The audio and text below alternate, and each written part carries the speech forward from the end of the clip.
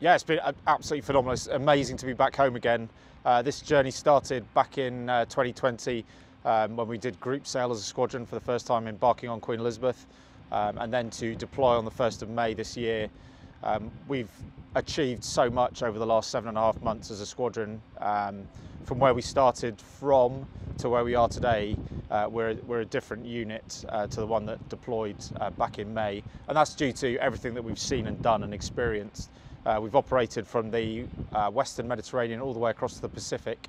We've um, flown with multiple nations in a variety of exercises.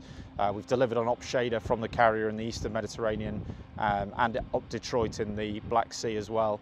So the things that the pilots have seen and done, um, they've covered the broad vista of F-35 capabilities and we've proven that capability now around the world, which is phenomenal um, and then for the whole squadron have developed uh, throughout that whole process. So immense.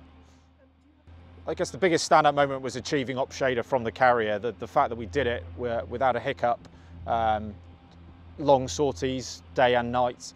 Uh, and then I was very proud of the squadron and how they uh, recovered back to the ship without any issues both day and night after extremely long sorties. And to be able to provide support in that way um, was a real test and, and we came through that without uh, with flying colours. So um, that is a stand-up moment, but it, it's almost unfair just to single that one moment out because of the variety of things we've seen.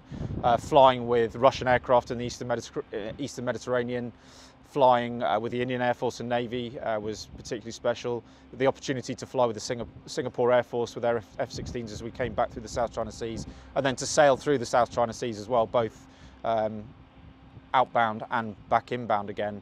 Uh, given uh, given the tensions that there to be involved in that uh, was was very special as well. The challenges. Um, so we, have done this whole deployment, and not again just not just the deployment, but the whole work up to the deployment. It was surrounded by COVID, which has affected everybody across the country, across the world, clearly.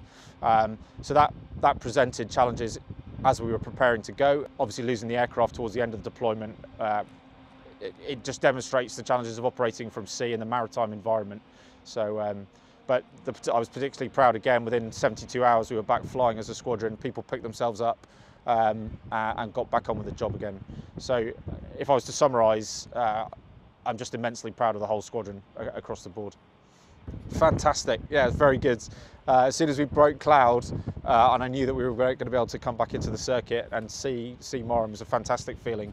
Uh, and then knowing that all our families and friends are back here waiting for us, so uh, we're all very ready for a great Christmas.